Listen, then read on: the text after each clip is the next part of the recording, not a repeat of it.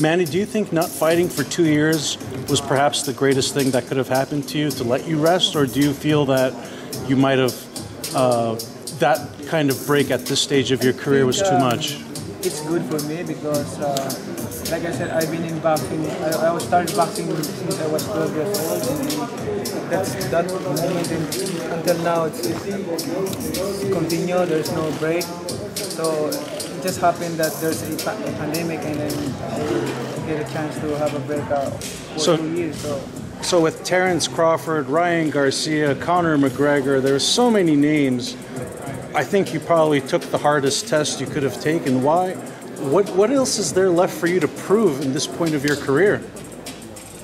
You know, this is not about to prove. Um, I already proved my uh, ability in, uh, in, in boxing, but boxing is my passion. I love to uh, to be there. I love to, to fight and to entertain people. That- That's my it's my passion. Real, really passion. Did you see the Conor McGregor fight yesterday? Yeah. What did you think? Oh, I, I, I we already believe that uh, uh, Dustin Poirier is, uh, will, will win. Do you Would you still want to fight Conor McGregor, considering that he's lost twice already to Poirier? I don't know. I don't know. Senator, you got to see Errol Spence up close. I know you have. That was a few years ago. How does he look? Does he look taller? Does he look heavier?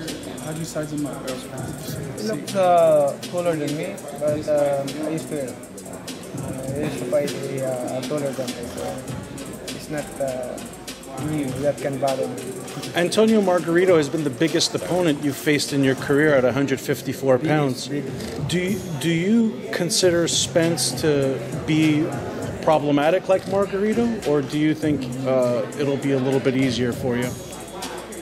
I'm, it's not kind of um, I'm not pro- problematic with this, uh, but it's kind of uh, fighter that uh, you cannot underestimate because um, he's a southpaw.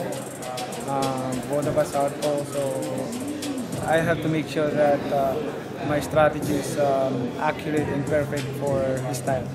So there you have it. Another great video for ES News. For ESNewsReporting.com, I'm Elie Seckbach reporting, and you can follow me on Twitter at Seckbach, And you can follow me on Instagram at Elie Seckbach. Take a step back.